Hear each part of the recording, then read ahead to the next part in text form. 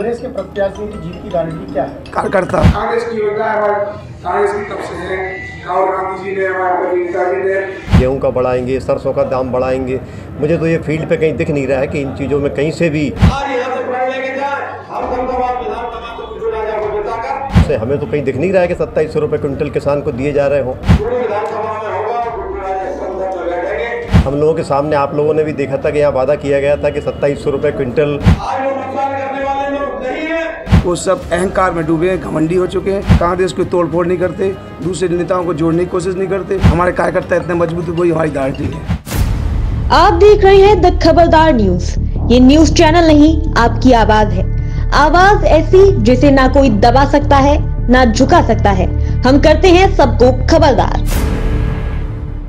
विदिशा ज़िले के शमशाबाद में कांग्रेस ने चुनावी कार्यालय का शुभारंभ किया। विदिशा, मध्य प्रदेश विदिशा ज़िले के शमशाबाद में आज सागर संसदीय क्षेत्र के चुनाव कार्यालय का शुभारंभ किया गया। यह कार्यालय नगर के आज़ाद चौक स्थित भवन में स्थापित किया गया है। शुभारंभ के अवसर पर कांग्रेस लोकसभा प्रत्याशी चंद्रभूषण सिंह बुंदेला सहित अन्य कांग्रेस नेताओं ने कार्यालय में भगवान गणेश जी की विधि विधान से पूजा अर्चना कर कार्यालय का शुभारंभ किया। इस दौरान कांग्रेस नेताओं ने बीजेपी पर जमकर निशाना साधते हुए कहा कि बीजेपी ने किसानों के साथ अन्याय कर छलावा किया है। उन्होंने कहा कि विधानसभा चुनाव में किसानों के अनाज का समर्थन मूल्य बढ़ाने की घोषणा की थी, लेकिन सरकार बनने के बाद वही घोषणा पर अमल नहीं किया जा रहा है। कांग्रेस नेताओं ने बढ़ती महँगाई सहित अन्य मुद्दों पर भी बीजेपी पर निशाना साधा। कांग्रेस नेता सिद्धू विक्रम सिंह ने कहा कि हम चुनावी मैदान में जाकर जनता से बीजेपी की करनी और कथनी की बात कहेंगे। उन्होंने कहा कि हम हमेशा किसानों की न्याय की लड़ाई लड़ते रहेंगे। पार्टी के प्रत्याशियों की जीत की गारंटी मोदी जी है तो कांग्रेस के प्रत्याशियों की जीत की गारंटी क्या है? कार्यकर्ता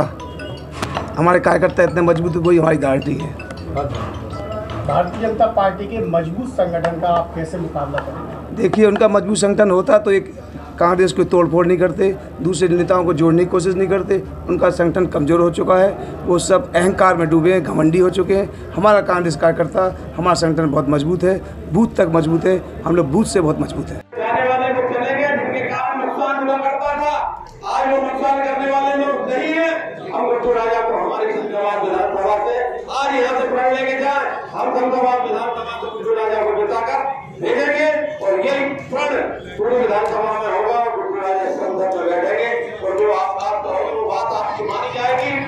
लेकर जनता के बीच आओगे? हमारे लोकसभा चुनाव में जो भाजपा ने वादे किए थे, हम लोगों के सामने आप लोगों ने भी देखा था कि यहाँ वादा किया गया था कि सत्ताईस सौ रुपये क्विंटल गेहूँ खरीदी होगी। मेरा भी आप लोग आते हो वेयर हाउस से, हमें तो कहीं दिख नहीं रहा है कि सत्ताईस सौ रुपये क्विंटल किसान को दिए जा रहे हों।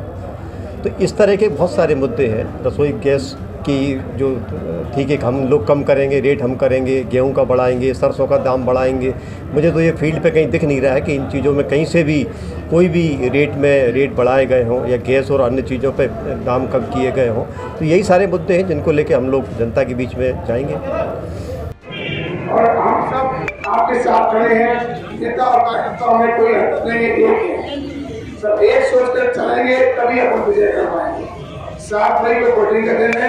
सब एकजुट होकर सात मई को वोट करवाएँ और डलवाएँ और सबसे निगम निमन करके घर जाएँ, क्योंकि अपनी योजना जो है, कांग्रेस की योजना है, हमारे कांग्रेस की तब से है। राहुल गांधी जी ने, हमारे मोदी नेताजी ने, हमारे खड़गे जी ने राष्ट्रीय अध्यक्ष सब एक दफ़ा तो पाँच कार्ड दिए सबको पता है। ये तो सब कार्यकर्ता और नेता लोग जाएँगे, बताएँगे ही। मैं इससे बात नहीं करना चाहता। हमारे तरफ़ सब लोग बता चुके हैं। मैं तो सब यही आश्वासन देना चाहता हूँ। कि जहाँ भी आप गुड्डू का विराट करेंगे गुड्डू का आपके और नेता हैं, जो परिवार के हमारे जिला आप साहब यार हमारे नाम विक्रम है ज़िले विक्रम जी इस ज़िले के प्रभावी अभी शर्मा जी दुबे जी शर्मा जी ममता जी हमारे मंच और यहाँ पर बैठे विदिशा से हमारे रिपोर्टर आशीष सहेले की रिपोर्ट। बने रहें द खबरदार न्यूज़ के साथ।